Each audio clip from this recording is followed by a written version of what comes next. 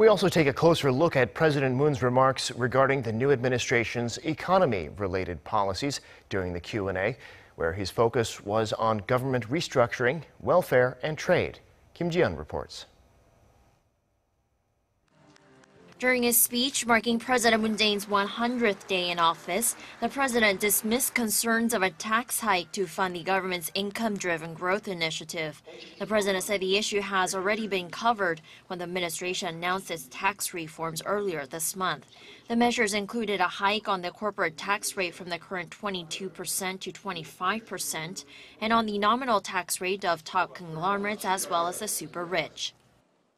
우리 사회의 어떤 조세의 공평성이나 어, 또는 우리 사회의 그 불평등을 해소하기 위한 소득 재분배 기능을 위해서라든지 또는 앞으로 더 복지를 확대하기 위해서 필요한 재원을 마련하기 위한 그런 방안이든 어, 이 추가적인 정세의 어떤 필요성에 대해서 국민들의 공론이 모아진다면 그리고 합의가 이루어진다면 정부도 어, 그것을 검토할 수 있다고 봅니다. Also, the president emphasized major restructuring of public agencies and their state-funded projects by tackling redundancies and scrapping projects with low returns.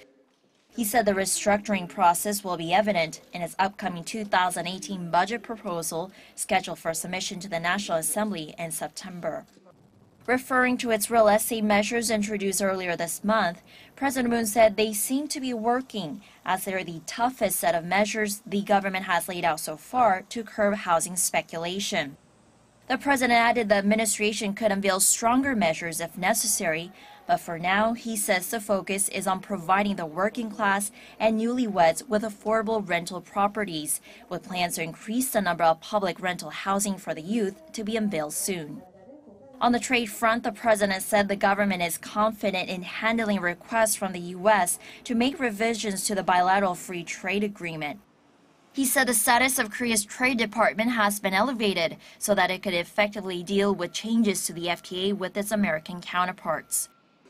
The president also elaborated on the FTA's positive impact on both countries, dismissing criticisms that the agreement has led to job losses in America and exacerbate a U.S. trade deficit.